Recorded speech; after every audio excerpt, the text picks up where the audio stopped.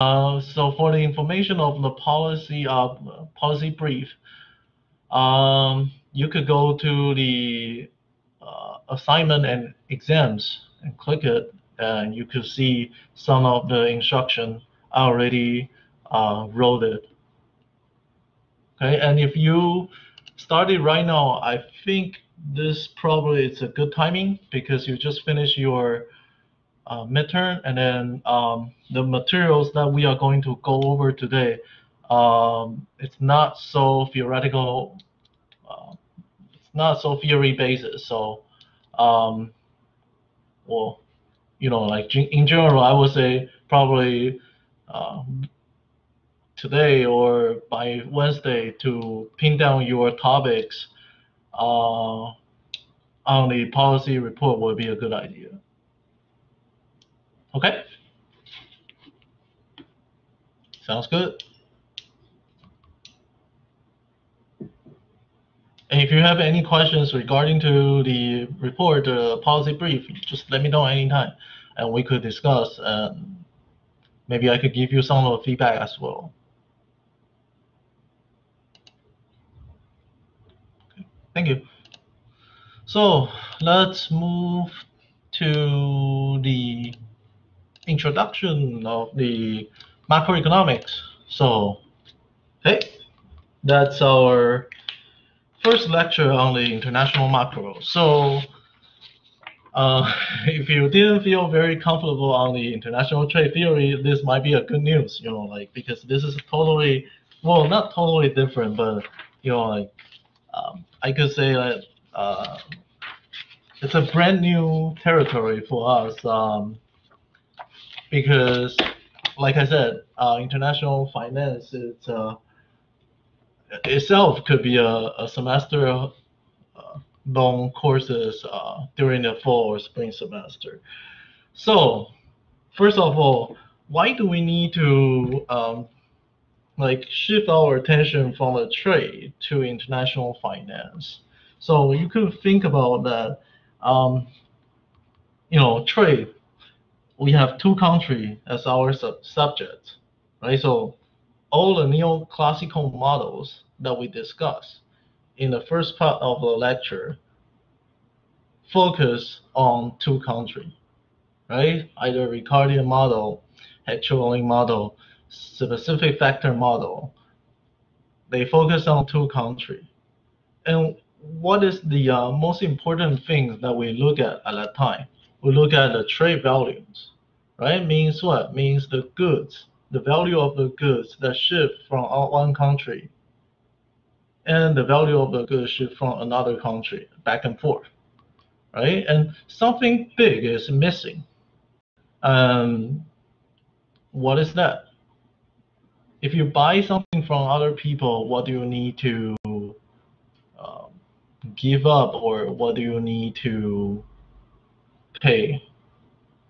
The the answer is quite obvious, right? So you have to pay the money to the seller of the goods you buy, right? And this is also the case in the international economics.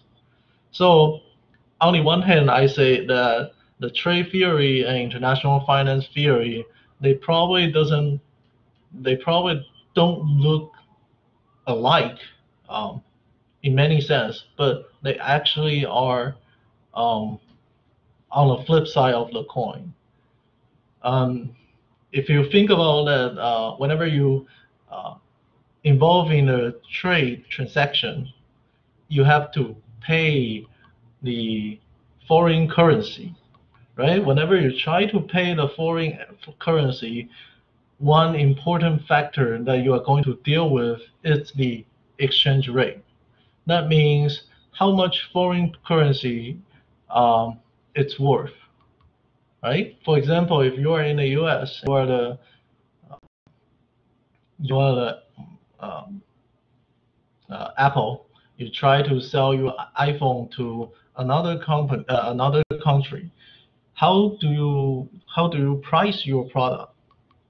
You have to take the you have to take the exchange rate into account, right? So that's that's why uh, when we discuss the international trade, we need to uh, the, to have some of the discussion on the exchange foreign exchange foreign exchange rate. So a discussion on the foreign exchange rate is inevitable. Okay. So let's move on to the first slide. So international macroeconomics, sometimes this one will be called uh, international finance.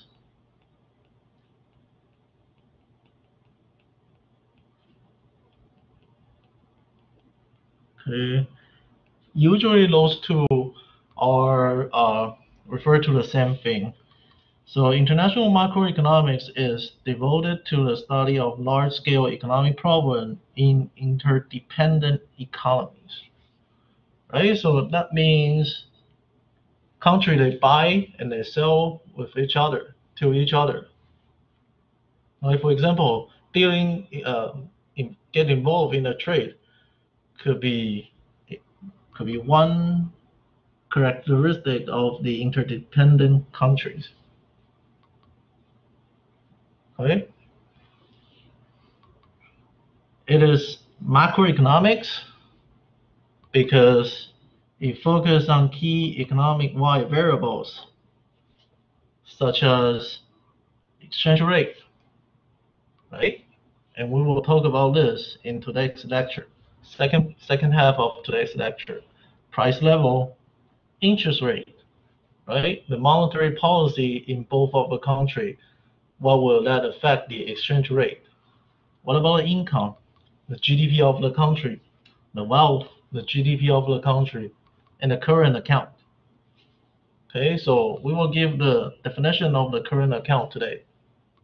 Okay, it's international because it has a lot of the countries um, involved in.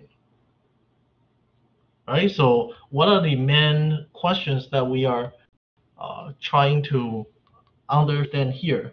First of all, is what is the role of the exchange rate play in the international economics? If the currency depreciation, what will happen to the trade value of this country? If the currency appreciate, what happen will to the country's current account? Okay, and then we try to understand why, what's the incentive for the countries to borrow and lend money um, between each others. Lastly, the government's policy on the foreign exchange rate is something we want to discuss as well. So that's the uh, main structure of the chapter 12, which is the first chapter of the international macroeconomy in Feenstra and Taylor. Okay, so why exchange rate is so important, right? Because the world, in the world, we have a lot of money, right? For example, U.S. is called dollar, in China, that's called renminbi. In UK, it's called pounds. In Argentina,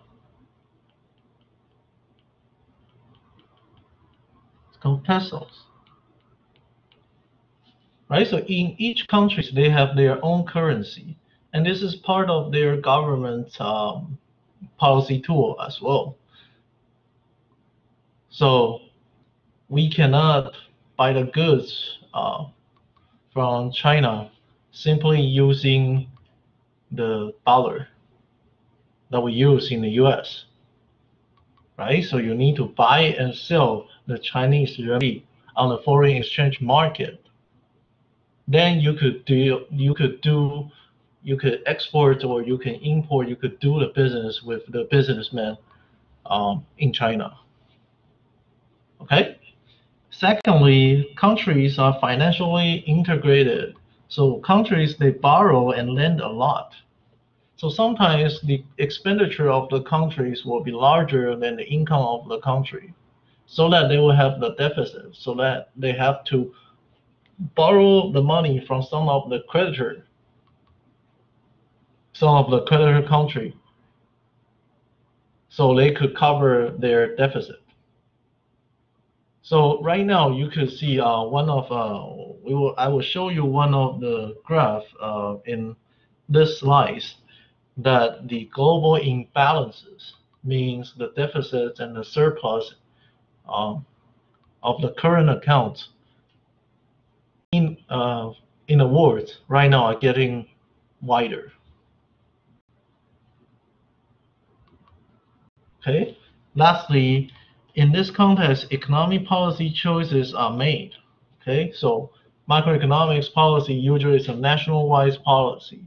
So as you could see, this part of the course right now, we slightly shift from the micro perspective to the macro perspective, right? If you think about the models that we talk, talk uh, that we discuss in the trade theory, a lot of time we treat countries as an individual, right? Even in a gravity model, if you if you recall, even in a gravity model, we will uh, select some of the country and select some of the representative consumer in that country right? So everything, uh, well, most of the trade theory are considered to be the micro part in the international economy.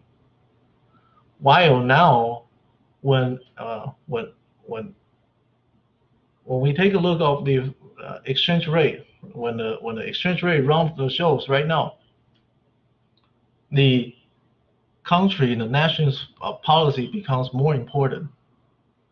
You have the monetary policy, you have the fiscal policy, you have the uh, foreign exchange rate policy, and become the the the one of the uh, uh, representation of the macroeconomics, right? So if people telling you that macro international economics, they are referred to this part, um, international macroeconomic or international finance. If people are um, discuss the uh, micro international economics, they are talking about the trade part. Okay.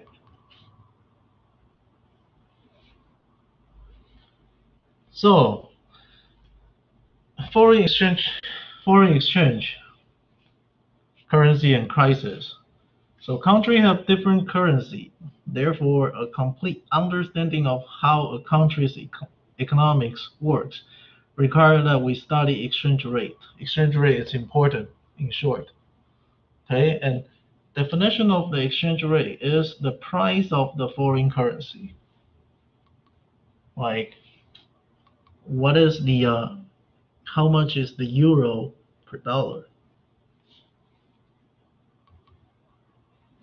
Because the products and investment move across the border, Fluctuation in the exchange rate have significant effect on the relative price of home and foreign. Right? So the price, the price of the foreign good increase. They could be decomposed into two parts. Right? If you think about that, the foreign price, right, should be exchange rate times domestic price right? So if the price, the foreign price increase, it could be this term increase. And as we will say uh, later on, this means the domestic currency decrease or the price level increase. Right? So exchange rate play, plays an important part. That's it. So um, the goods, the services, and the assets um, um, their price will be affected by the foreign exchange rate. Okay, so this is uh, just give you a picture of how the exchange rate behave right? So exchange rate um, behave differently uh, in the different pairs of the countries. For example, China and U.S. exchange rate are relatively rigid, so they are fixed. They don't fluctuate a lot. In compare with the U.S. and Europe, you see, so euro per dollar fluctuate a lot here. So this we call floating, and this we call fixed. So this we call fixed exchange rate. Call floating. Right, and this is the data from 2003 to 2016. But I, I guess if you count into the 1998 Asia crisis, the uh, the yuan to a dollar probably to RMB to dollar, yuan to dollar probably will fluctuate more. But this graph doesn't show you. Okay, so the chart, those two charts show two key exchange rate from 2003 to 2016. The China-US exchange rate varies little and will be considered a fixed exchange rate. While the US-Europe exchange rate varies a lot and will be considered a floating exchange rate. And could anybody think about what's the reason behind it? Why the US Chinese uh, exchange rate are relatively fixed? than the US Euro exchange rate. The Central Bank of China intervenes to peg the currency at a fixed exchange rate. Good. So the intervention of the government, right? So the intervention of the government is the key part. If you're trying to fix the exchange rate, what do you have to do? When your foreign exchange, the supply of the foreign exchange, is decreasing as the central bank you need to cover out the decrease of the supply, right? So you will sell some of the uh, foreign exchange you have right now to make it at the same price, right? If you think about the pri- the demand and supply in a in a foreign exchange market, we actually will talk about this later on.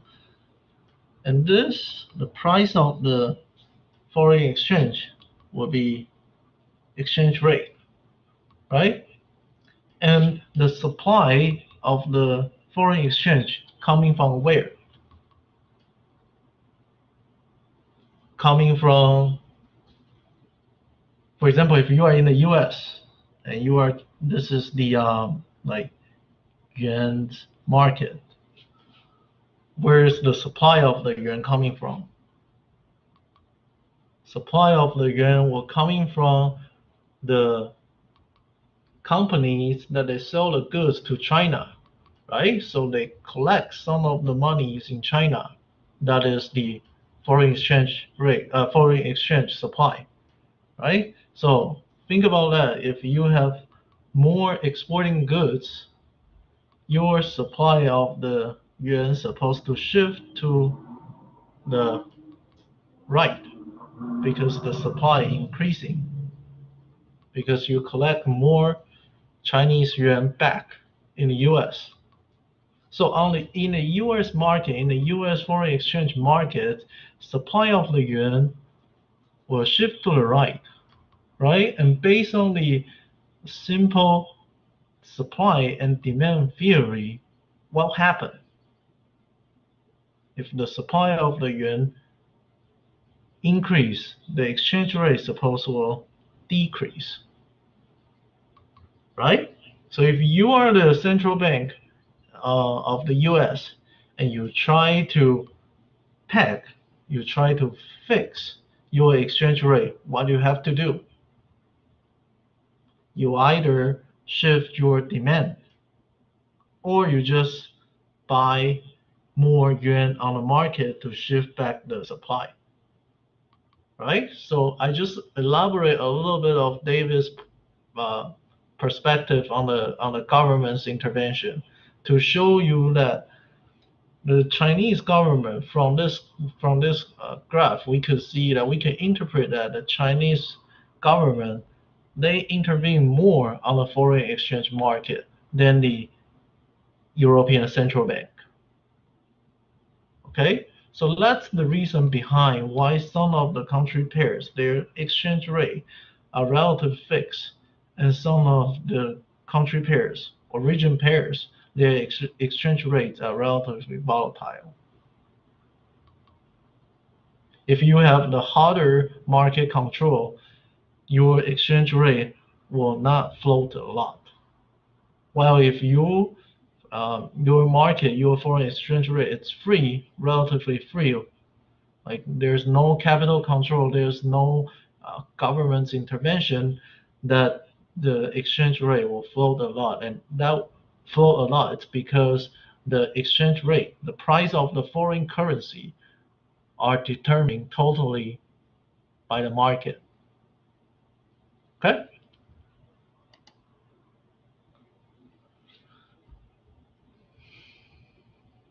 So we have two kinds of the uh, two groups of the countries. One we call fixed or peg exchange rate, and one we call floating or exchange rate. And as we already see in the previous slides, that eurozone are going to be in this category, and China will be in this category. And I think in the uh, there's one of the diagram here showed you, oh, it's not here. It's in the next one. Sorry. So uh, we actually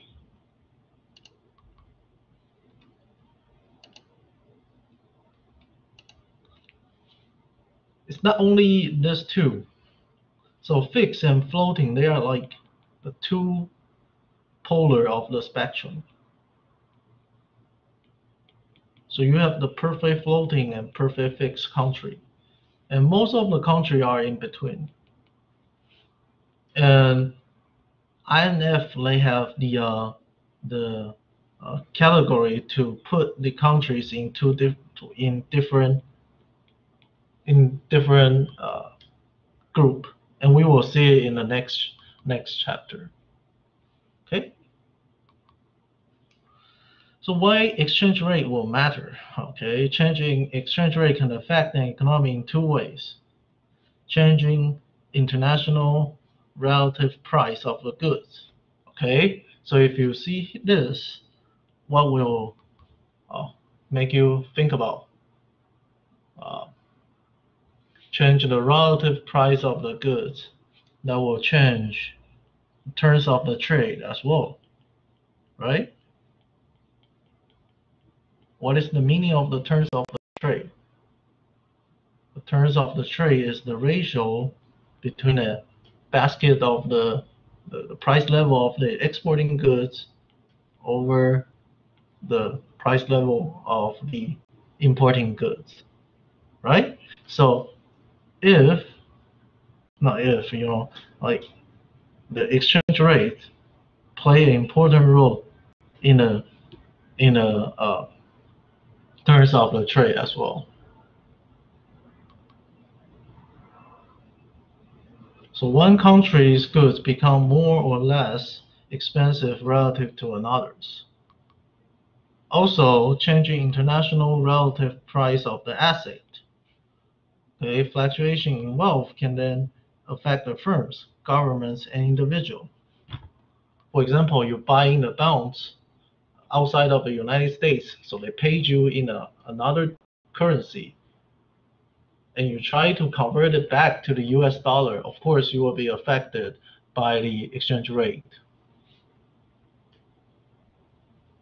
Okay, so here are some of the key topics that we will explore in this half of the uh, uh, international economics. How do the uh, changes in exchange rate affect international policy? The demand for the goods from different country, right? So you change the dif- you change the if the the exchange rate change, terms of the trade will change. The terms of the trade will change. Your demand of the import and out, uh, export will change. And how do they affect the value of the foreign asset? That's something we are going to take a look.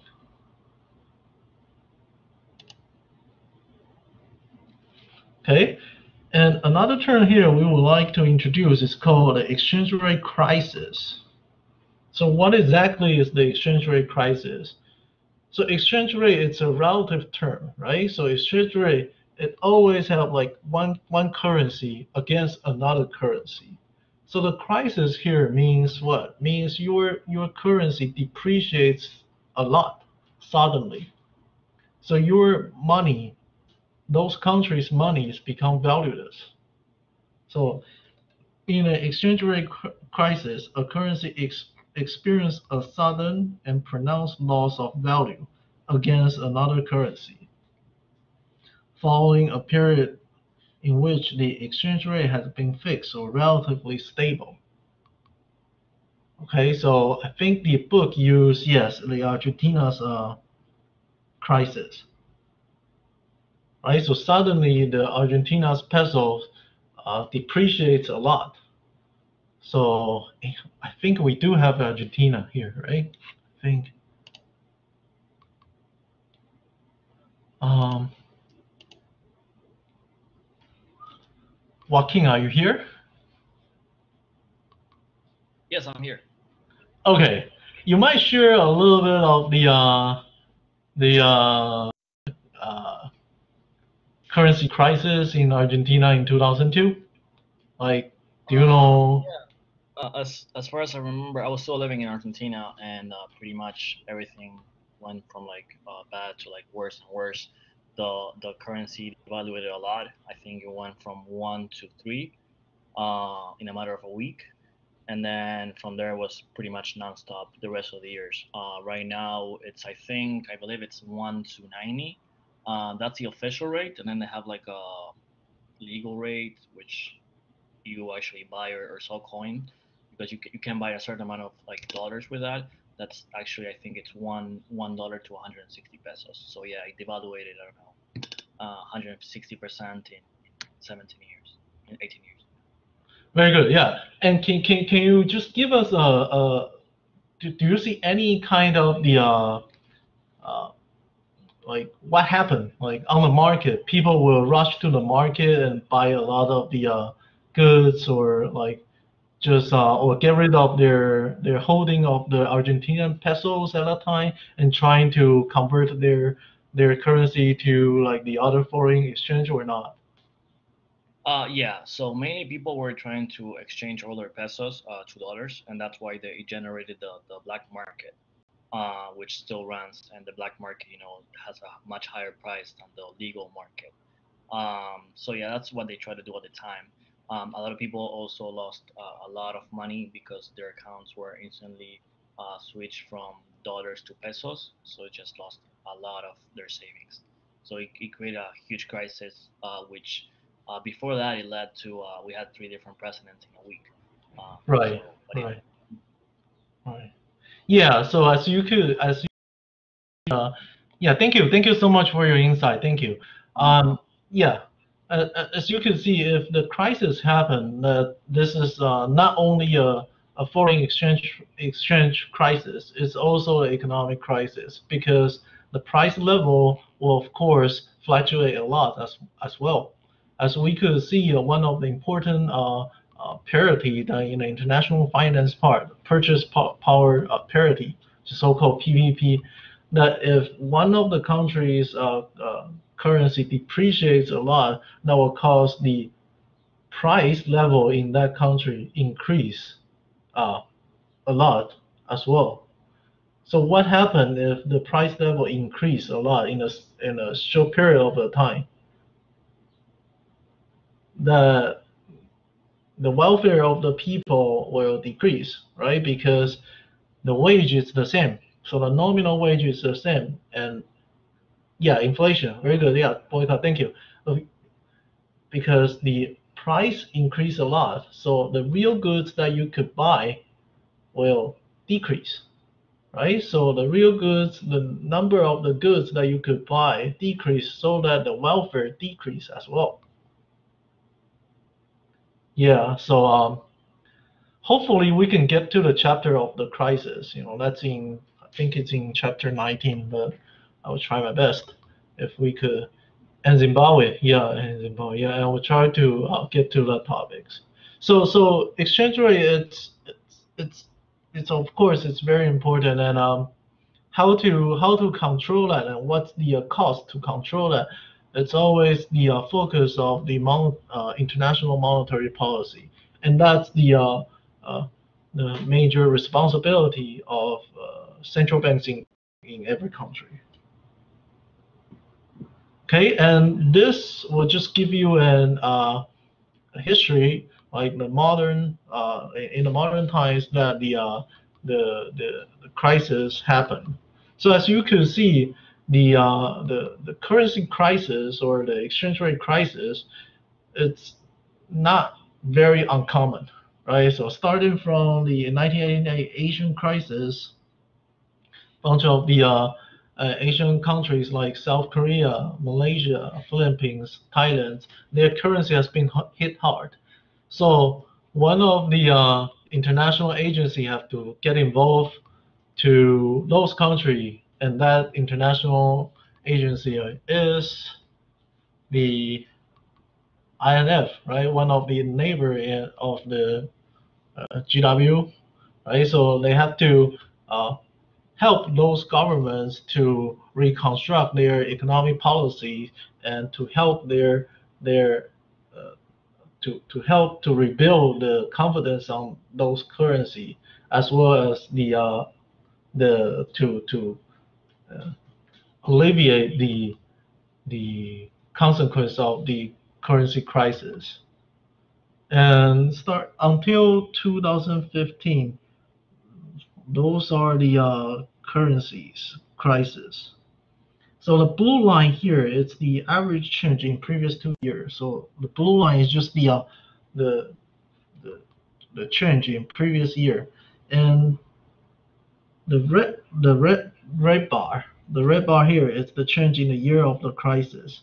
So as you can see that if the currency crisis in, happened, the change it's always some you know it's always like much much larger than in the average, and usually it's the the currency depreciates. Okay, so that caused the currency crash.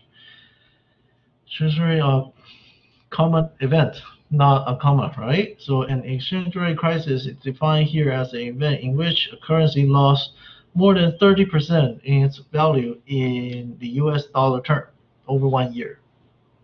Okay? So IMF will intervene, uh, World Bank as well. So some of the uh, the points that we would like to know is why do exchange rate crisis occur. So why? Because the institutional quality, because of the government policy, or there's other like fundamental things that will let that happen. Are they an inevitable consequences of deeper fundamental problem in the economic, or are they avoidable result of the animal spirit, right? Like irrational force in the financial market. Right? If a lot of people are doing the speculative things, like they they believe that this currency are going to crash in some time of the point, so they will short that currency, right? So it means that they try to buy the contract in the future to sell it. So that will decrease the confidence on that currency, right? So that currency was will, crash someday. When we will see that as well in the in the later on of the chapter. So why are this crisis so economically and politically costly? What steps might be taken to prevent crisis at what cost? Okay.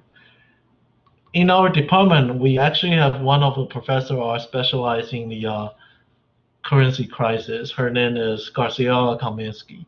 So if you are interested, particularly in this part, you should go and take her courses. Not advertised, but uh, just let you know. Okay, not advertised, just let you know. okay, so let's move on to the second part of the uh, introduction. So globalization of the finance, it's also the important things why we need to study uh, international macroeconomics because country borrows and lend to each other a lot. So financial globalization has taken uh, around the world, right? Taken hold around the world, starting in an economically advanced country and spreading to many emerging countries. So I think uh, I think the definition of the advanced and emerging country, we will mention that later on. Will we? That's in next chapter. Sorry.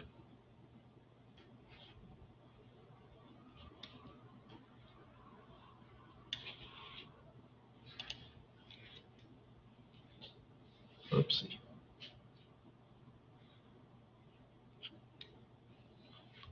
Okay, so at the national level, economic measurements such as income, expenditure, deficit, and surplus are important uh, barometers of the economic performance. So if your country's income is larger than expenditure, you're supposed to have the surplus on the current account. And if your income is smaller than the expenditure, then you're supposed to have the deficit. All right, and usually people will prefer to have the surplus than deficit. That is the uh, like the book said is a barometers means like it's an indicator of the economic performance. So if you have a lot of the deficits, probably it's not a good thing in the long run. And income measure is, is called gross national disposable income. So this one, the acronym will be GNDI. And this is related to GNI, and this is also related to GDP as well. So this is the indicator of the national income. And I think we will talk about this in chapter 16 when we talk about the national account. And the expenditure measure is called a gross national expenditure, right? So how do you measure the uh, deficit or uh, surplus of the national account? If your income is larger than expenditure, then you should have uh, current account surplus income is smaller than your national expenditure current account deficit okay so to combine with the trade, let me ask you, if the country would like to have more income, uh, he should export more or import more.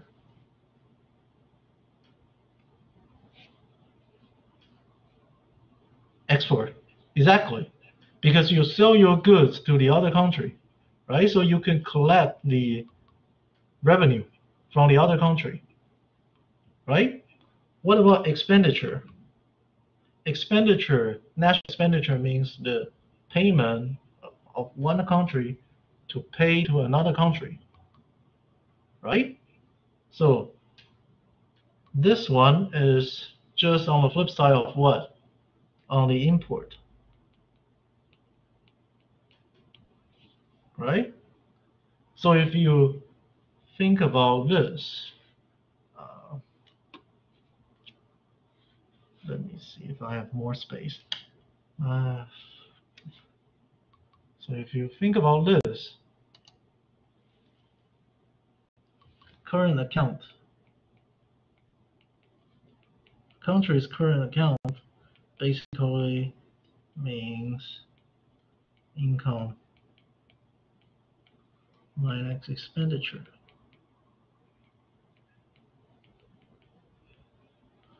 Right? And you get the income from the export. And you get the expenditure from import. Right? So what is the current account? If we're using the trade term.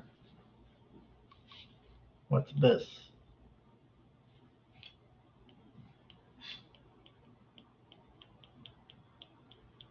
The export. Right? So if you are uh,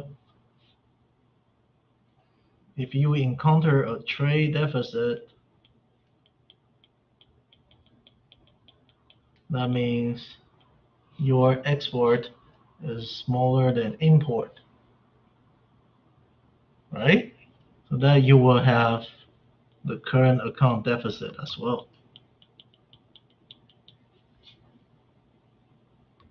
And if you are in the trade surplus, if you have trade surplus,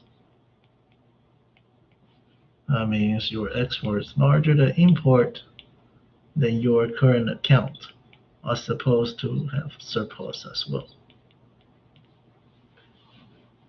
Right, so now you should be able to have a sense that why the uh, international trade theory is on the flip side of the international macroeconomics or international finance.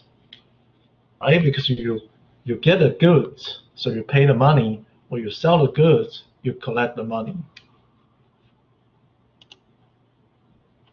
Okay, so this is called the uh, uh, give me a second. Let me let me let me reload my iPad.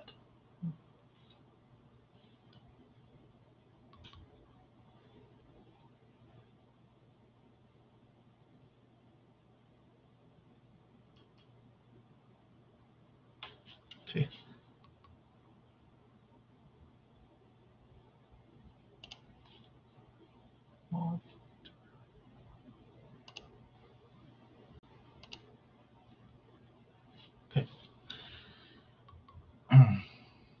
So what this table tells you? The inflation performance and the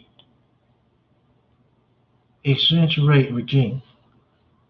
Okay, the table shows the data for the United States from 1990s to 2015 in billions of the US dollar. During this period, in but one year, US expenditure exceeds the income. So that's this year. With the US current account is in deficit. Deficit. Okay, so US are uh, encountered in the uh, deficits more, starting from 1990.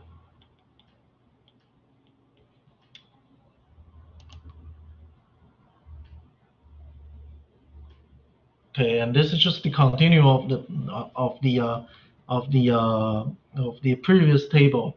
As you can see now, the the current account deficit uh, is still ongoing. Right? So there's no no uh, current account surplus here. So if you recall the trade deficit or like trade surplus of the U.S. modern history, U.S. have more import than the export in modern history, right? So U.S. has the trade deficit as well. So that from the previous derivation I told you, right? So exports and import, net export, income, and expenditure is the account. They are coincide with each other, right? So if you take a look of the trade deficit data of the U.S., you, you won't feel surprised of the uh, the current account deficit in the modern history of the U.S.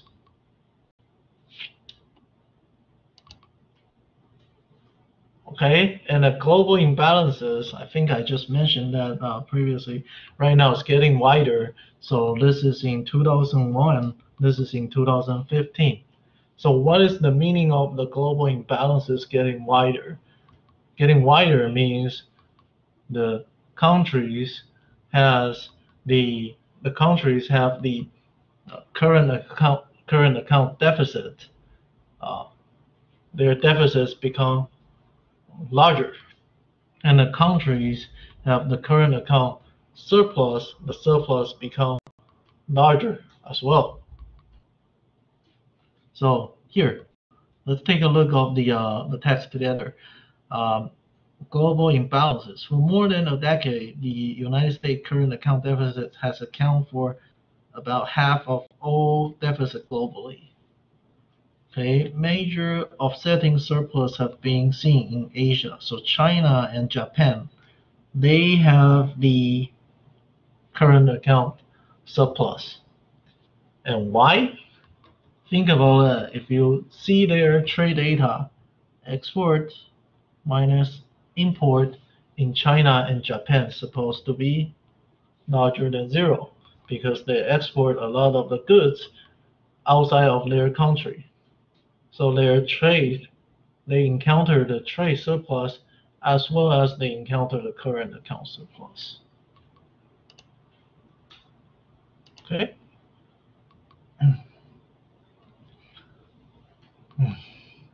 Okay, so just another term here. So what's the some of the country called debitors, some of the country called creditors, and this is easy to understand, right? So creditor means that those countries have the current account surplus, and debitors means those countries have the current account uh, deficit, right? So external wealth, total wealth or net wealth is equal to your assets minus your liability. So asset minus liability will be your net worth. Right, basic account, accounting idea. Right, so what's the meaning of the asset? Asset means what others owed you. Liability means what you owe to the others, right? Something you have to pay back, and asset means somebody has to pay you. When you run a surplus, you save the money so that you are going to be a creditor, right? So you can lend the money to the other country.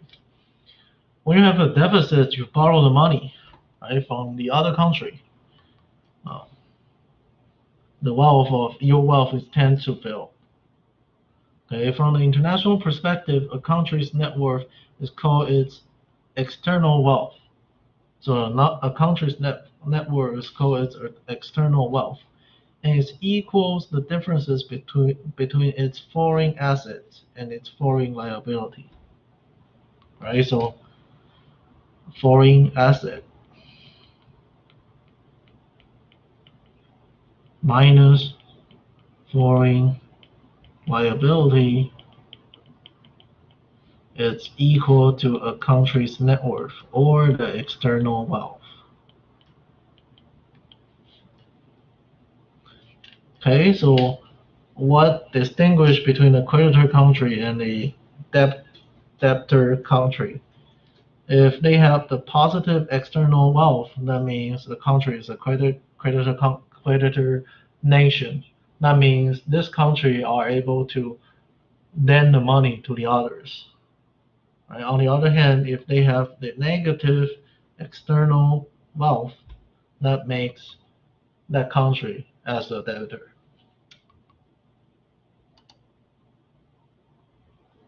Okay. So this is just the data of the uh, external wealth of the United States, right? So as we could see from the previous table, that the current account deficits are, you know, like there there there will always have the current deficit in the modern history of the U.S. So that uh, it won't we will not be so surprised to see that the U.S. right now are going to be the debtor of the uh, uh, U.S. is a debtor country. right? As the uh, another country that's in Argentina. Okay, so um, in 2002, it's the currency crisis uh, happens here, right? And then uh, the IMF and the other international agency try to help them so that the current account deficits was in the uh, the worst time in 2002 and then go up like this. Okay, so all else equal, deficit cause external wealth to fall, surplus cause to rise. Right, so surplus just like saving and and and uh, deficit is just like you owe the money to the other country.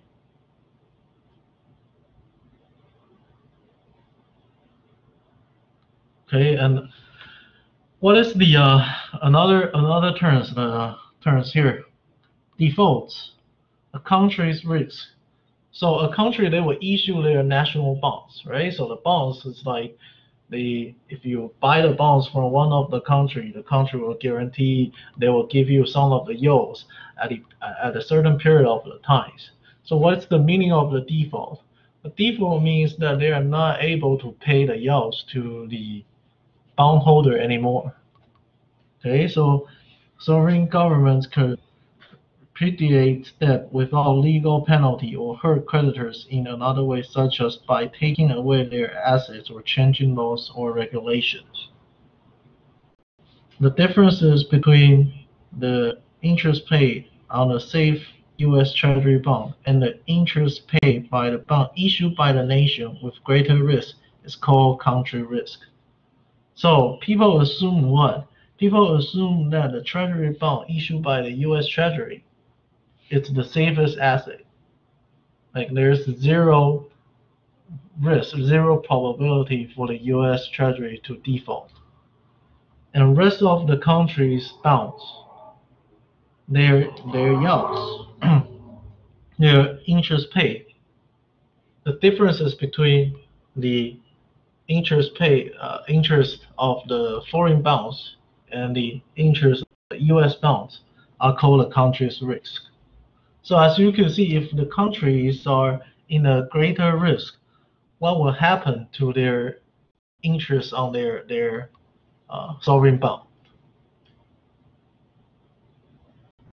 If you have a greater risk, right? If you have a greater risk to default in the future. So if you are the issuer of the, what will you do? You will try to raise the yields or the interest rate of the bonds to attract more investors, right? Otherwise, people will not take the risk to invest in your bonds, right? So if you have a higher risk to default, your yields, your interest rate is supposed to be higher. And if we assume that the U.S. Treasury bonds are risk riskless, right? So the difference between the U.S. bonds and the foreign bonds could be an indicator of a country's default risk, right? So if you are invested in some of the national bonds and that country is relatively stable, their interest rate of the national bonds of that country is supposed to close to the US Treasury bonds. So the spread will be very close to zero. But if you are investing in one of the country that have a lot of the that might have potential risk to to default means they probably cannot pay the yields back to the investors in the future, the interest rate are going to be a lot higher than the US Treasury bonds. Right, so here the example is uh, the country, uh, the Poland's uh, national bonds, the country risk is 1.48%. So what does it mean? it means the yields of the Poland's bonds, sovereign bonds, is just 1.48% higher than the US Treasury bonds. Right? So this means that the stability of the Polish government is okay. It's Polish government is relatively stable, whereas um, Turkey here, their country risk is 3.38. Means the bonds issued by the Turkish government, the yields, the interest rate, it's higher to the U.S. Treasury bonds by 3.38 percentage, right? So that means the Turkish uh, default risk is higher.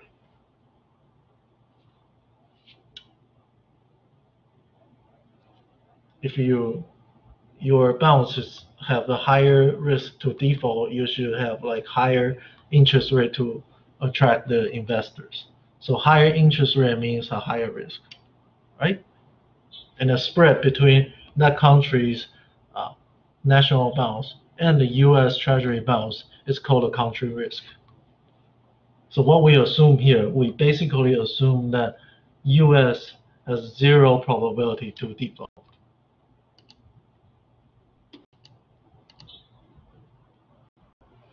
Okay, and last but not least, the government's policies also play an important role in the international economics as well, right? So let's go over together.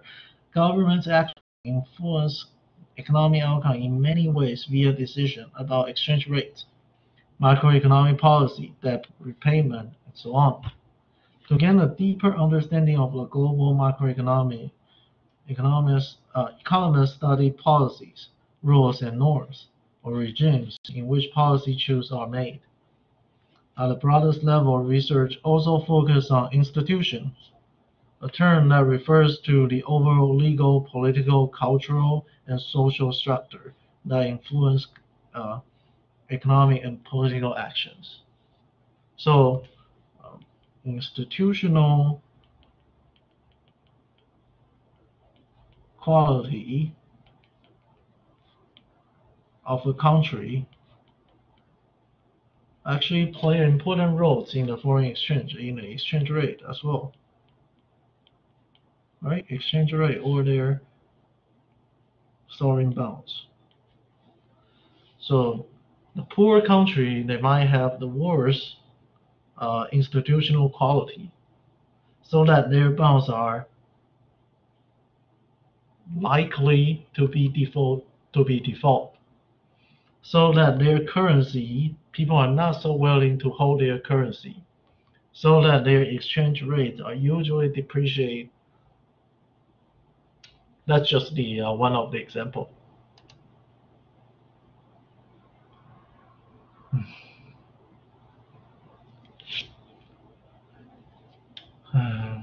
okay, so government can use the uh, capital uh, capital control as a policy tools, right? And government could also could choose whether they are going to intervene in the foreign exchange market or not. And institutional foundation of the countries, such as the quality of the governments, uh, also will affect the uh, the uh, global economy. Economy. So that uh, we have, uh, here we go we have a different definition of the countries, right? Uh, different. We put the countries in three different uh, groups. So the first group is called advanced country. So what are they? Who are they? Countries with high levels of income per person and that are well integrated into global economy. So OECD, right? OECD countries supposed to be in this category. Emerging market means what? Mainly middle income countries that are growing and becoming more integrated into the global economy. So this are going to be like, uh, this are referred to some of the countries moving from developing countries to advanced countries, right? Like China, Taiwan, South Korea. And developing countries, on the other hand, means those countries, mainly low-income countries that are not yet well integrated into the global economy.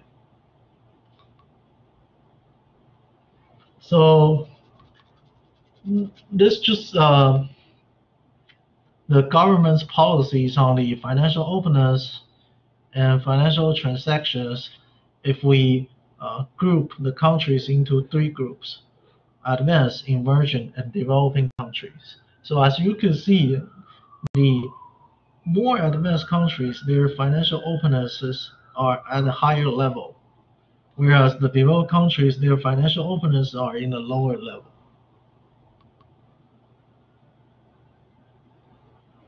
So the restriction on the financial market for the advanced countries are less. People could could buy the foreign exchange or sell the foreign exchange more easily in the advanced countries. So there's no capital controls in the advanced country, whereas in the uh, less developed country, such as emerging markets and developing countries, uh, the governments put more hands on the the uh, buying and selling the foreign currency.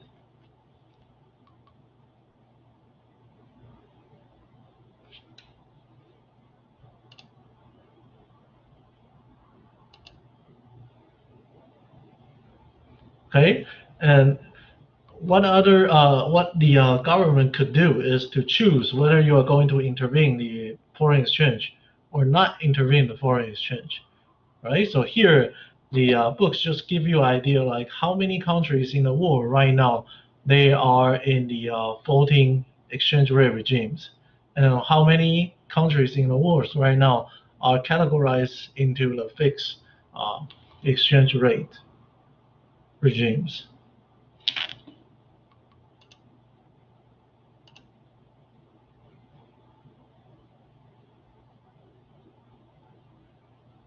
Some groups of the country have sought to simplify their transaction through the adoption of the common currency.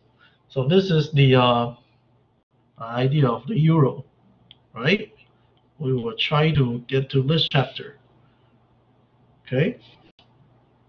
And some countries still choose to use their currency.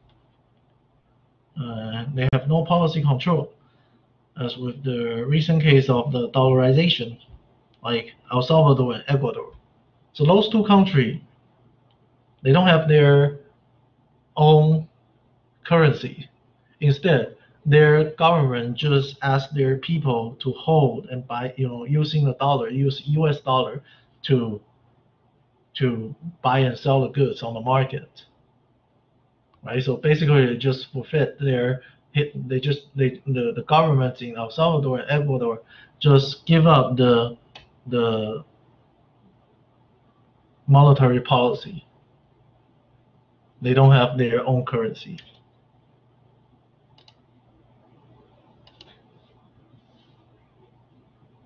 Okay, and the quality of the governments, last, lastly, the quality of the governments, uh, what is this? Legal, political, social, cultural, ethnical, and religious structure of the society set, the environment for economic prosperity and stability, or poverty and stability. Better quality institutions are correlated with higher level of income per capita.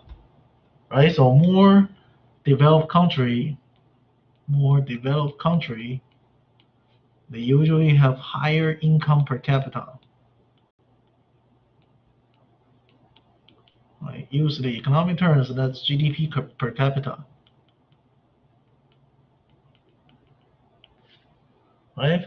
While in the uh, another important indicator for the uh, economic performance is the income volatility better quality institutions, right? So like the developed countries, their people are encountered with lower levels of the income volatility. So the income will not fluctuate a lot in the more developed countries. Okay, and this two uh, graph basically just tells you this. Um, so this is the average income per person and on the vertical axis. And the horizontal axis is the institutional quality. So uh, better is going to be on the uh, right-hand side. So as you can see, the the the regression uh, line look like this. That means this variable and this variable they are positively correlated, right? So if you have the higher institutional quality, like maybe the law enforcement is better, the uh, the corruption rate is lower in the government, your average income per person going up. And this is the uh, deviation of the growth rate. So deviation of the growth rate means the fluctuation, right? So deviation, you could see as a variance of the uh, growth rate of the income. A higher, more advanced country, their people's uh, deviation of the growth rate is smaller while the poor country with the worst, uh, worst institutional quality, their uh, income are more likely to deviate from the long-term growth rate.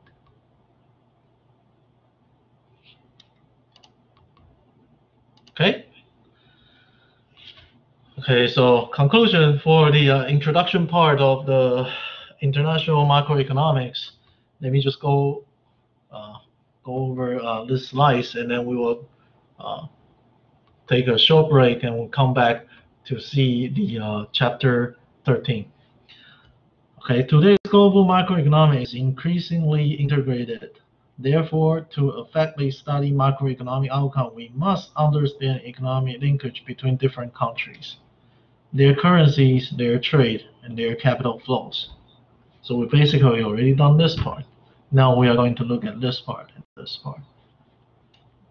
Only then we begin to understand some of the important economic phenomena in the world today, such as the fluctuation in the currency, fluctuation of the exchange rate, cause of the currency crisis, what happened of the countries that will cause the currency crisis, determinant of the global imbalances, like how do we use in the national account to capture that, problem of the economic policy making, cause and consequence of the gap between rich and poor country. Okay, so I will see you in 10 minutes. That's seven.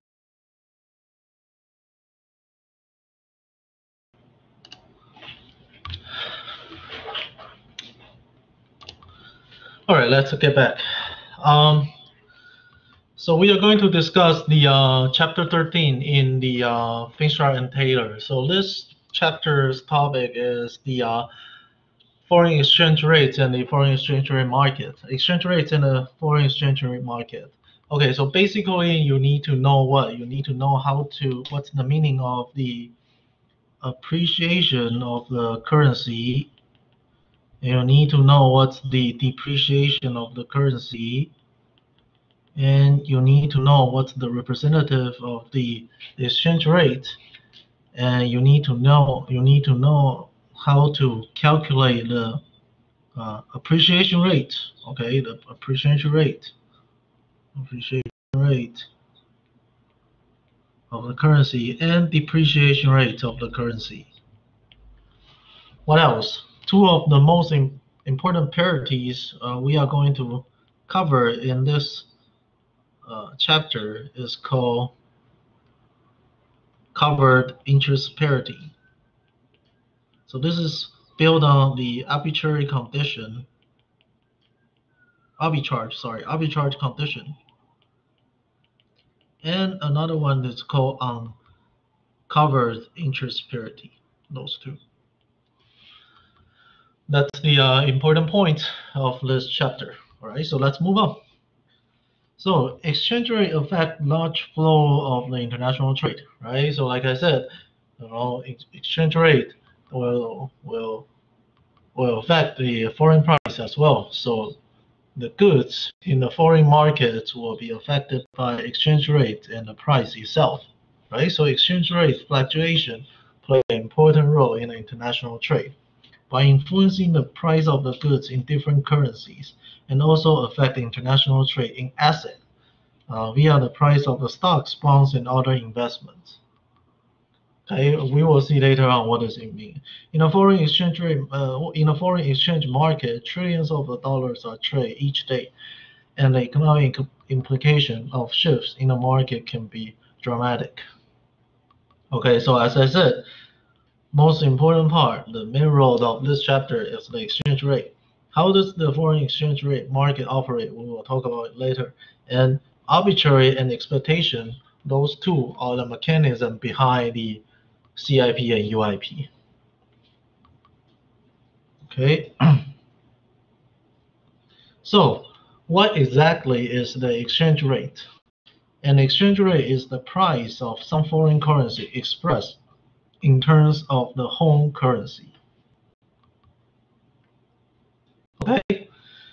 Be because an exchange rate is a relative price of two currency, it may be called in either of two ways. So there are two ways to to show the exchange rate. The number of the home currency, the first one is the number of the home currency unit that can be exchanged for one unit of the currency, foreign currency. So what we usually use that one in the notation representative. For example, as euro as a foreign currency, dollar is the domestic currency. How much uh, that can be exchanged for? Okay, so the first one, the number of the home currency units that can be exchanged for one unit of the foreign currency. So per foreign currency, how many units of the uh, home currency could be exchanged? right? On the other hand, what is the uh, another representation? Should be like this. The number of the foreign currency units that can be exchanged for one unit of the home currency. Okay. In this book, it doesn't tell you like which one is which one because it is always very confusing. When I was in the undergrad school, uh, when I was in the uh, college, we call this as the direct exchange rate.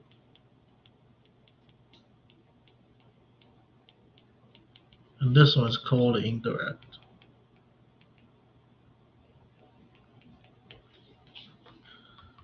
Okay, so once again, this is important to specify which country you are in, just like a trade theory.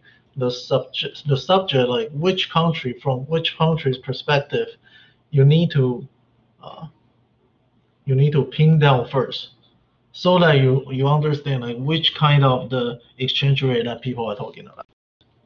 Otherwise, the the an analyst will be totally opposite, right? Because you see this term I just be the reciprocal of this term. So if this one increase, this one will decrease. But they actually mean the same thing, right? So you need to figure out like which way people are using in the context first. Is the number of the currency unit that can be exchanged for one unit of the foreign currency, or is the number of the foreign currency unit that can be exchanged for one unit of the currency. Okay? When we refer to a particular country's exchange rate, we will quote it in units of the home currency per unit of the foreign currency. Okay, so this one should be like this. For example, the US exchange rate with Japan is quoted as US dollar per yen, right? So how many unit of dollar is equal to one unit of Japan yen. Right? So these are going to be the representation are going to be like this. Okay. Another example, Denmark's exchange rate with the Eurozone is quoted as Danish krone per euro. Right? Because Eurozone supposed to be the foreign country for Denmark. Right? So if we know we want to know what's the Denmark's exchange rate with the Eurozone, the foreign currencies unit in the denominator, home countries in the numerator. Right? So per euro, how much krone, Danish krone, could be exchanged. Like one euro could buy how much Danish krone. It's the same thing. If we say US exchange rate with Japan, that means we're talking about how much uh, how much US dollar could exchange for one unit of the Japanese yen. Okay, so as you can see, this is just the historical data on the exchange rate.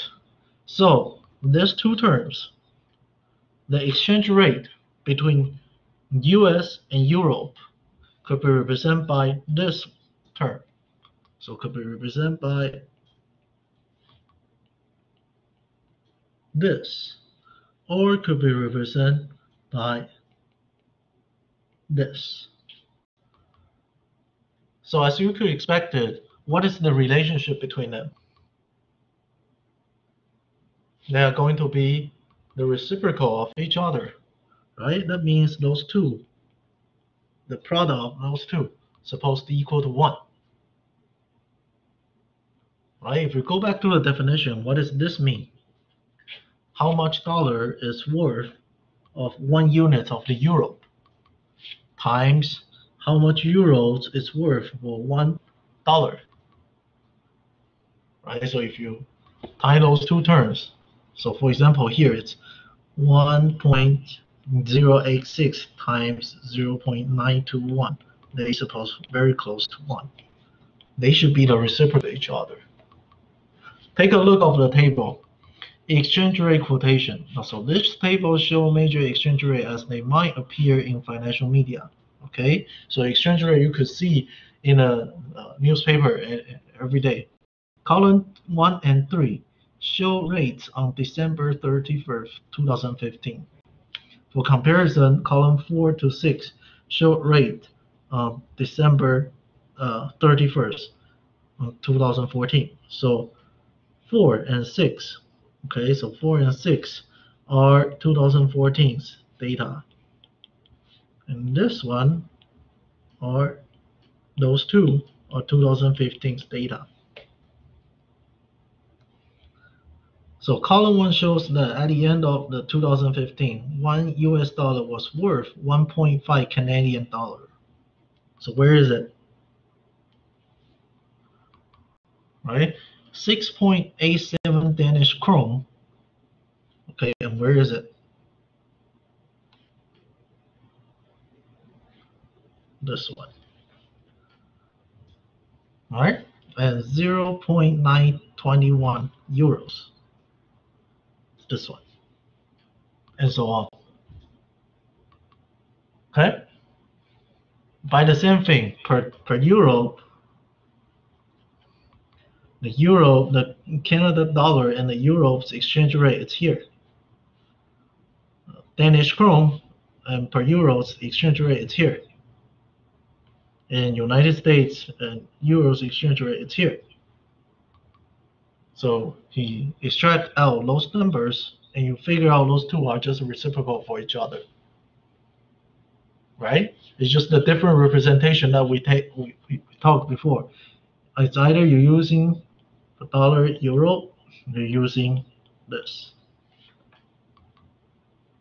Okay? So they should be reciprocal for each other. But as you can see, the different timing a different time in 2014 and 2015, the exchange rate is different, right? So exchange rate they, it is a, a fluctuates uh, indicator, right? Uh, we see from the uh, previous chapter slides that the eurozone, the, the euro to US exchange rates fluctuate more, right? So this just give you another evidence of that. The exchange rate is not just fixed at a certain amount of uh, uh, across the time. It will fluctuate. Depends on which country you are dealing with. Some of the country are relatively stable. Some of the country are unstable. Okay, so definition of the appreciation and depreciation, the most important part in this chapter. Okay, what is the meaning of the appreciation of the currency? Appreciation means the value of this currency goes up, right? Remember, it's the value, okay? So if one currency buy more of other currency, we say it has experienced an appreciation. So sometimes it refers another another term. It's called raising values appreciate or strengthen against another currency. Okay, so let me ask you. So previously, in 2015, um, U.S. euro per euro It's here to here. Okay, no, it's here. So 2014, it's 1.402. 2014, 2015, 1.398. The US dollar depreciate or appreciate uh, from 2014 to 2015. Depre- and it's because using the definition we just go go over. So the value of the the dollar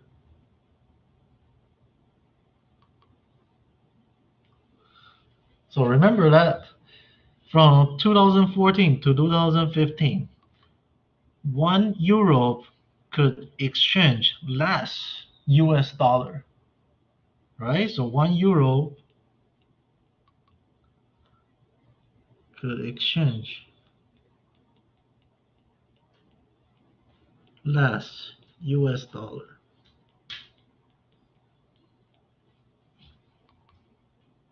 That means what?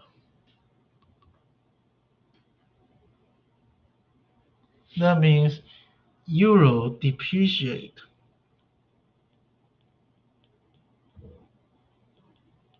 and that means US appreciate, US dollar appreciate. So you see, the way you represent the exchange rate will have the will, will give you the different representation of the number. From 2014 to 2015, dollar per euro decrease so that US dollar actually appreciate. We will see the example later on. Okay, let's go over let's go over the appreciation's definition one more time. If one currency buy more another currency, okay, this is supposed to be very straightforward. If you could buy more stuff, right? So you would your your value of the currency is supposed to be bigger, right? If you treat the the money as a good, and this goods, if you using this good, you could extract more things. That means the goods value increase, right? And this is the case here. One currency buy more another currency, we say it has experienced an appreciation. On the other hand, if a currency buys less of another currency, we say it has experienced depreciation. So depreciation is equivalent to falling in value, depreciate or weaken against another currency. Let's see the example. Oh, hold on. Okay. one more slice. When the US exchange rate, this raises, more dollar are needed to buy one euro. Okay, so here, as you can see, right, so this means more dollar are needed to buy euro, one euro. The price of one euro goes up in dollar terms, and the US dollar experience a depreciation. Okay, so if this term goes up, that means US dollar depreciate while euro appreciate.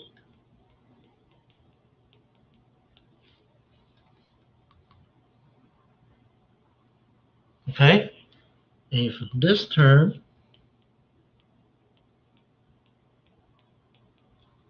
false, that's just the opposite, right? If the US exchange rate, okay, US exchange rate to the uh, euro falls, fewer dollars are needed to buy one euro. That means the price of one euro goes down in dollar terms, and the US dollar experiences an appreciation. Right, so this is the case in 2014 to 2015. So US dollar appreciate and euro depreciate against US dollar. Okay? Important. Important. So I think throughout the test, we will use this. So the home country will be US. And foreign country will be another currency. Okay, so we will use this format, like how much dollar you have to pay in exchange for one dollar of the foreign currency. So you see, so this one feature here is somewhat, somewhat counterintuitive. If this value increase, that means US dollar is depreciate. And if this value is decrease, then that means US dollar to appreciate. Okay, let's take a look of the example that will make you, uh, I think that will uh, make it more clear.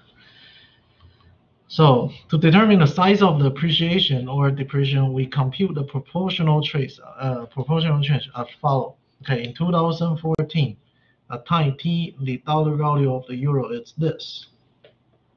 In 2015, it's this. Right? So how do we calculate our change? Remember the delta sign, right? The delta sign means the change, right? So what does it mean by the delta sign? It's just the new value minus the old value. So what's the new value here?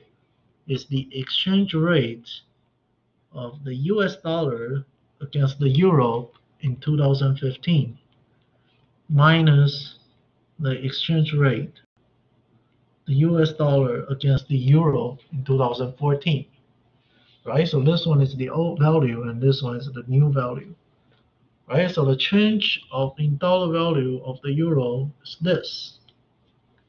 Right? So it's negative. Okay? And how do we calculate on the percentage change?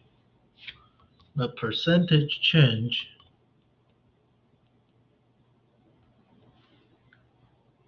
change is equal to uh, new minus old value minus old value times ah, I need more space new minus old old times 100 right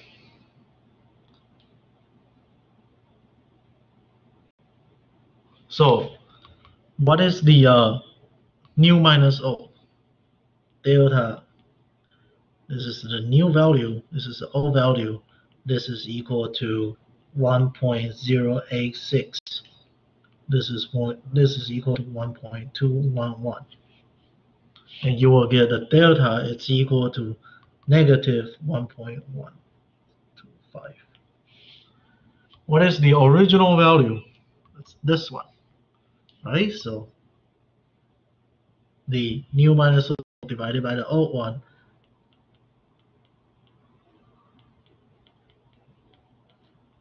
a hundred percent. So you will get this negative ten point three two. Okay, but remember this is a negative term, and as we say, if we're using the direct exchange rate format, this value decrease actually represent this appreciate. Right? So how do we interpret this negative? This means the US dollar appreciate against the euro by 10.32%. On the other hand, Europe depreciate against the US dollar by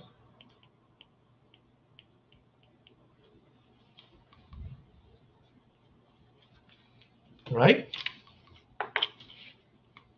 Okay, so this is somewhat counterintuitive, but you have to uh, accept it right now.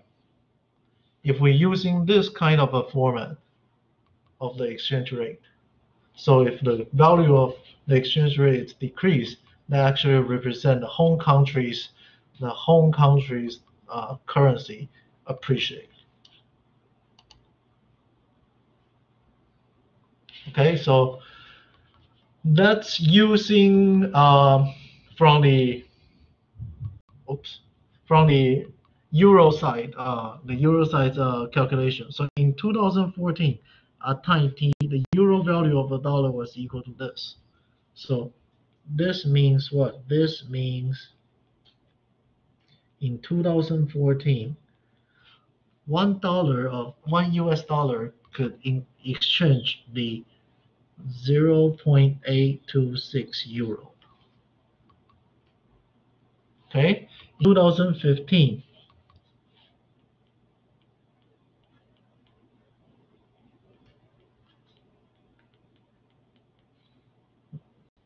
The euro value of the dollar was this. Okay, so we calculate the differences, the change, right? So it's the old one, the new one, minus the old one. That's equal to, right, that's equal to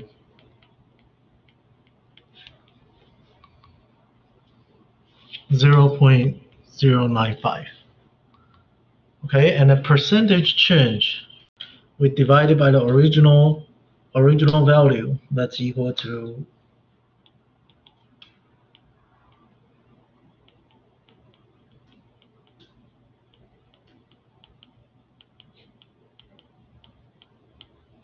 zero point eight twenty six. So you will get this number.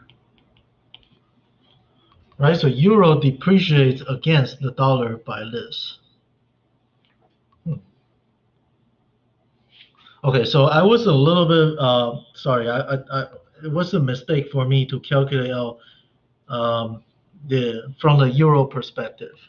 So follow the uh, follow the slides here. Follow the slides here. Okay. Is there any questions? So here we're using the Eurozone from the Eurozone. Okay, good. Eurozone perspective. right? Right now, home country is Euro, and foreign country is US,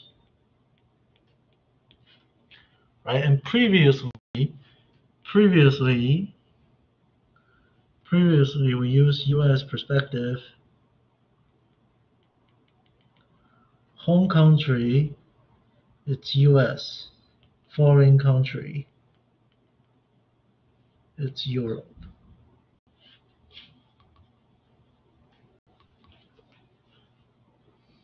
right? So one will uh, appreciate against the other, uh, the foreign currency, and one will depreciate against the foreign currency.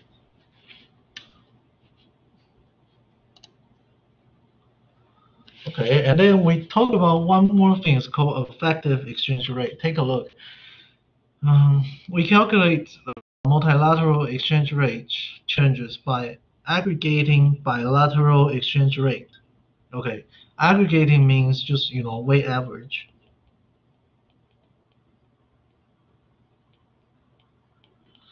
Using trade weight to construct the average over each currency in a basket. Okay, so if you have like multiple foreign currency in a basket, like you have two trade pa partner, how do you calculate the effective exchange rate? So you times the weight of their trade share, trade share.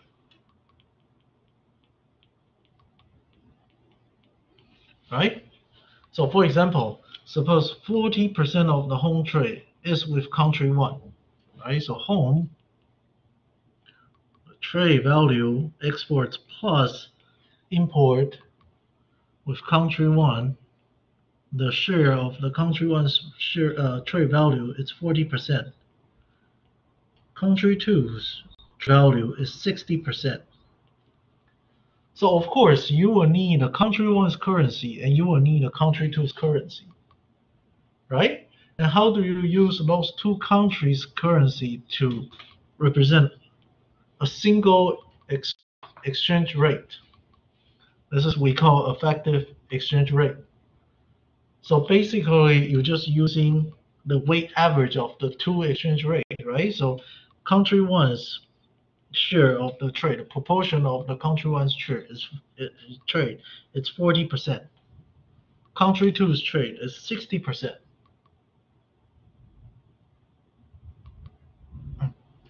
So if if home country's currency appreciates 10% against country one, but depreciates 30% against country two.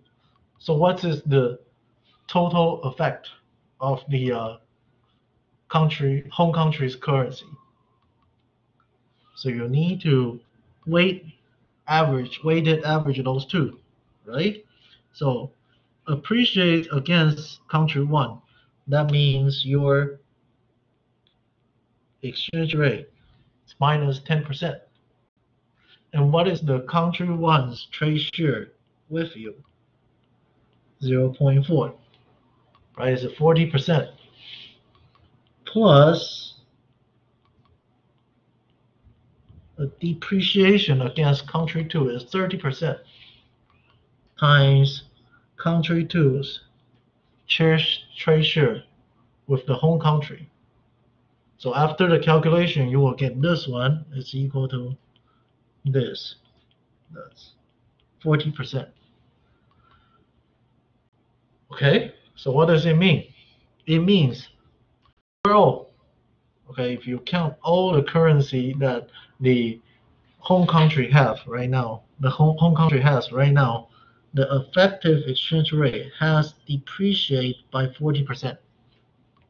Right? Remember, this is a positive. Positive means depreciate. So you can expand this in a multinational setting instead of only three countries. Right? Previously, I have home, I have country one, I have country two as my trade partner. Right? So I need to collect its currency, I need to collect its currency as well because I will export my goods to country one and I will export my goods to country two. Right? If now I have multiple trade partner instead of only have two, so I have country three, country four, all the way to country N. How do we calculate this? The effective, the change, the percentage change, percentage change in effective exchange rate. It's equal to this formula. The percentage change, the percentage change of the exchange rate against the country one times the proportion of the trade of the country one plus the percentage change of the currency against uh, the exchange rate against the country two times the proportion of the country two. There's a typo here, it's supposed to be two. And then to n, country n. That's it. So it's a weight average. It's a weighted average of the bilateral nominal exchange rate changes. So if I give you an example of uh, home country dealing with one, two, three, four, you need to, uh, you should be able to calculate all the, uh, the percentage change in the effective exchange rate of the home country.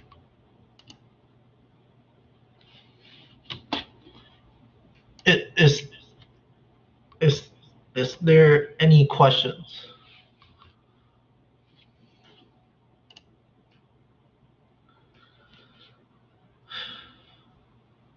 Okay, good. Just the weighted average. Uh, show the example. Okay. Um, okay, so let me see. Let me see if I could have more example. Okay, let me let me just modify a little bit of this this case. Okay, so home country. Suppose right now I have four I have four uh, trade partner. Country one,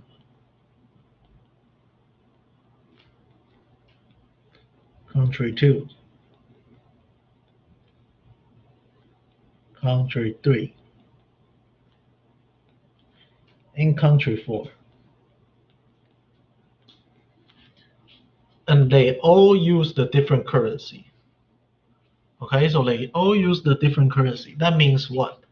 That means the home country will have one of the exchange rate against country one's currency. And that means home country will have another exchange rate that's against country two's currency. And so on. Like home country will have the exchange rate against country three's currency. Home country will also have the exchange rate against the uh, country four's currency. So if you think that the home country is the US, this could be China, this could be Japan, this could be Europe, this could be Canada. Okay? And then if China uh, take 50% of the trade value with the total US trade value, and Japan is 10%, Euro is 20%. Canada is uh, okay, it's 20. I want to give a different number. So 50, 10. So 15. Canada is 25. Right, so how do we calculate the percentage change in the effective exchange rate of the US dollar?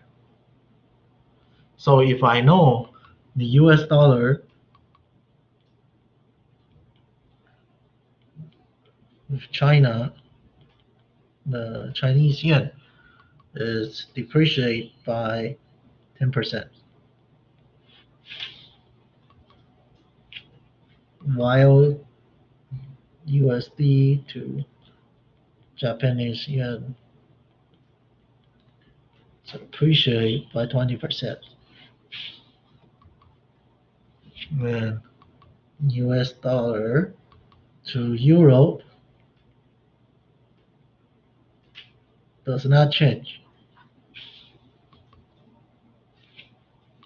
US dollar to Canada, say that depreciate by 5%. So that's all the information I have. I have the trade share.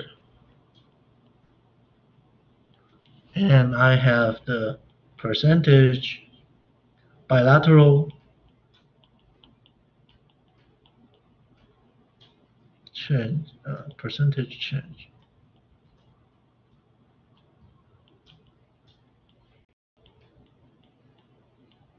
in exchange rate. Right? Now I have four different pair of the bilateral uh, exchange rate change in percentage. I have US China, I have US Japan, I have US Euro, I have US Canada.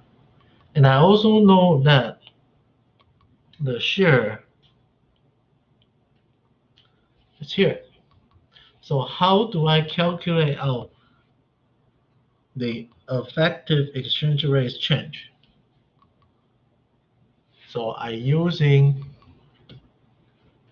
this. Okay, I'm using trade with China divided by all trade times the percentage change change of the US dollar with China. Hmm. Chinese dollar. Plus trade with Japan.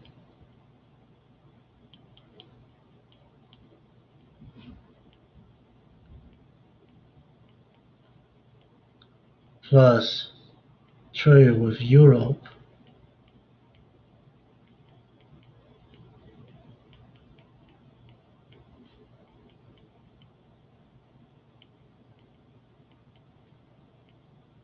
plus trade with Canada.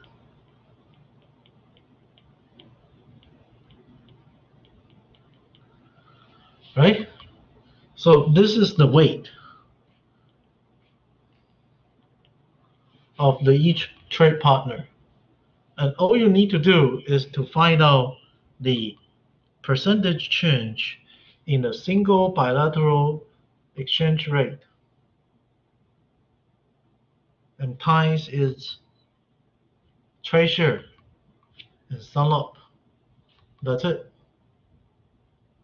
So using, let me copy down the uh, graph. Let me copy down the the the figure I have here, so I can pull up the uh, whiteboard.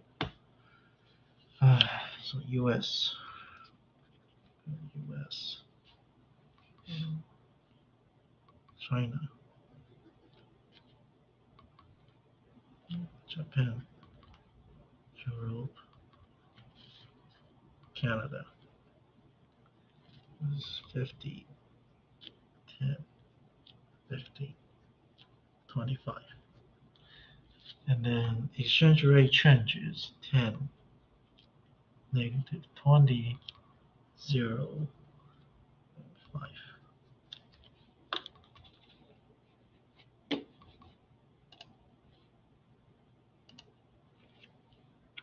That might be easier. So this is the trade proportion.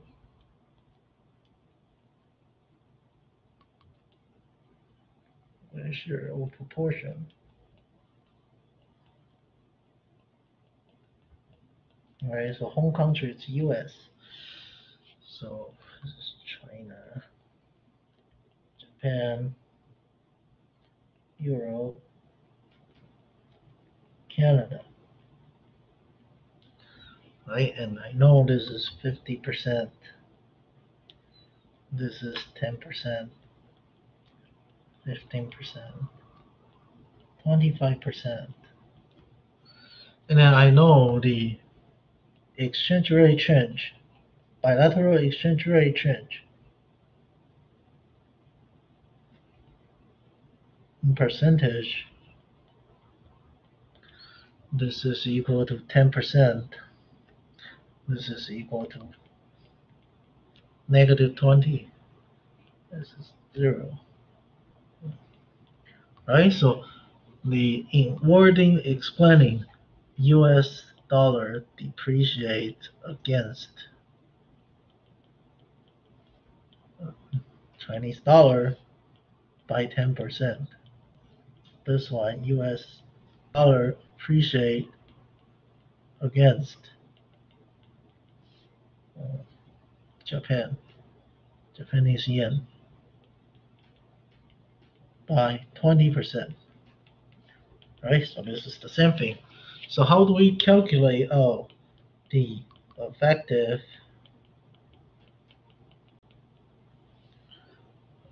exchange rate?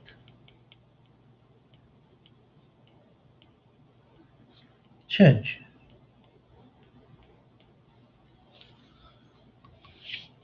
By using this times this. Right, so Chinese trade proportion it's a half of the US total trade times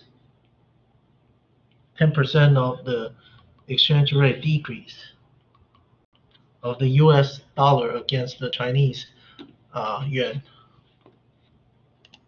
plus 10%. Right, so this is China trade share.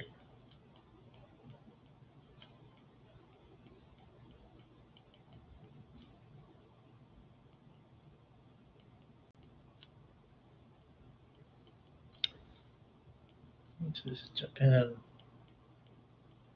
trade share times this.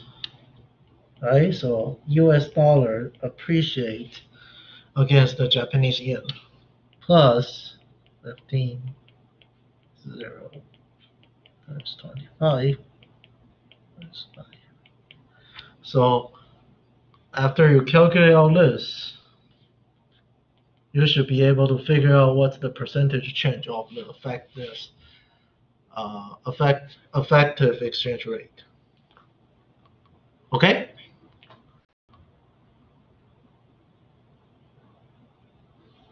Is that okay?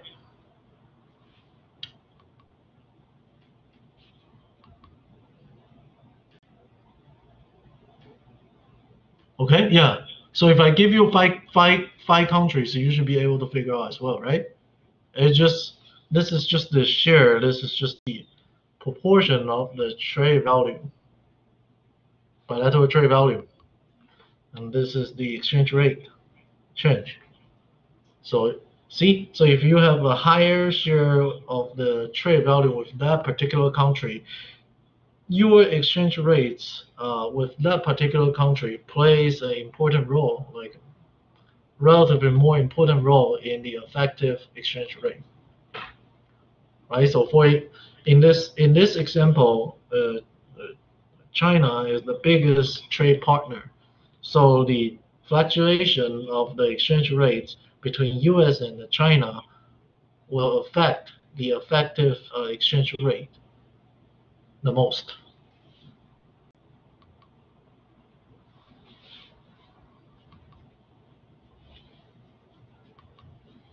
Let me know if I need to pause or should I move on.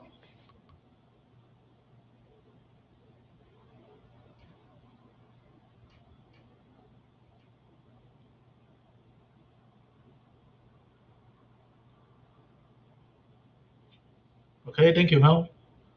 What about the others? Okay.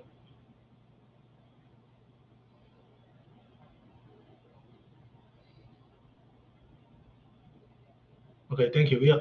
Yep. Okay, so let's go back to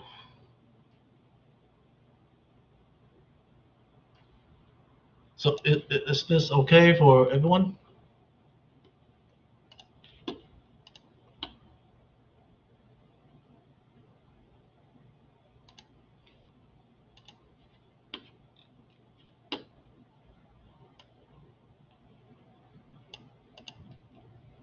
So exchange rate, effective exchange rate. Okay, so then just uh, once again telling you that there are two major types of the exchange rate regime. One is fixed and one is flexible, right? So one is like the, the China one is like government intervene interventions a lot. So uh, across a, period of time that the uh, exchange rate will be relatively fixed. Uh, whereas the uh, U.S. Euro one, because the market are relatively free, so the uh, price, the the exchange rate are basically determined by the foreign exchange rate, uh, foreign exchange market, so that the uh, price fluctuate more. So some of the cases here, so of country, okay, so this is the figure show that exchange rate of three currency, okay, so what three currency we have? This is Japanese yen, this is uh, British pounds, and this is the Canadian dollar. Right, so US the US dollar is subject to a great deal of the volatility, right? So it's more fluctuates here because it is in the floating regime or free float.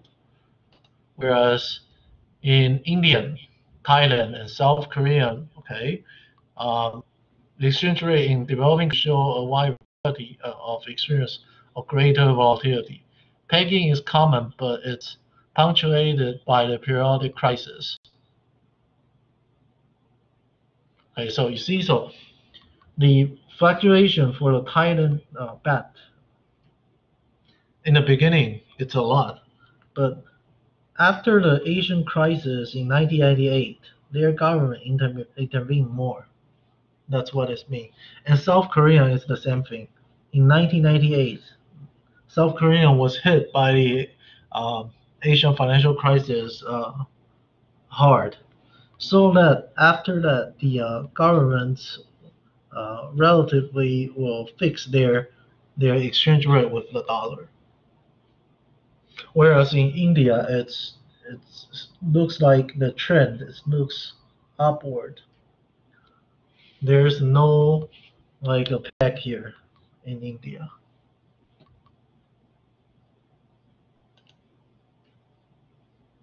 Okay, and this is the Argentina peso, Colombia peso, Ecuadorian dollar. Okay, so this is called, so India is an example of a middle ground, somewhere between fixed rate and a free float, right? So fixed and float, they are just two polar of the spectrum. So fixed and float. So mo most of the country, they are in between those two regimes. That's called managed float.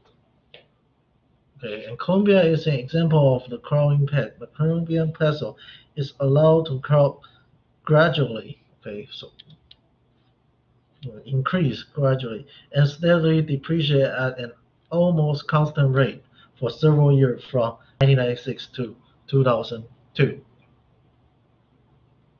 Okay, dollarization occurred in Ecuador in 2000, a process, so here dollarization, a process that occurred when a country unilaterally adopt the currency of another country. So after 2000, Ecuador has no its own currency. So the exchange rates, uh, you know, just disappear here.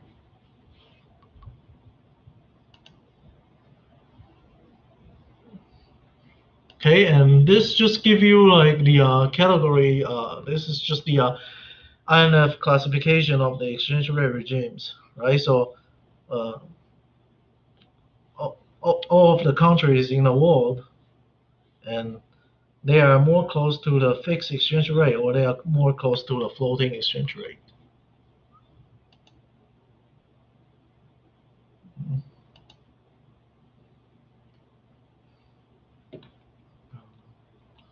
Let me see if I have a pie too.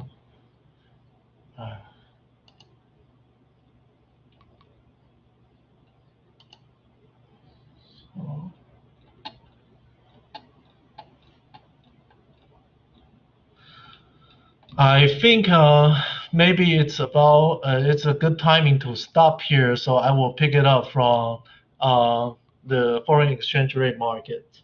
Um, so we will talk about we will briefly review what's the appreciation and the depreciation of the uh, of the currency uh, on Wednesday night, and then we will start from the market for the foreign exchange rate, uh, foreign exchange, and uh, I will tell you what's the uh, covered interest parity and what's the uncovered interest parity uh, on Wednesday night. Okay, so um, uh, I guess it's a good timing to stop here if there's no question.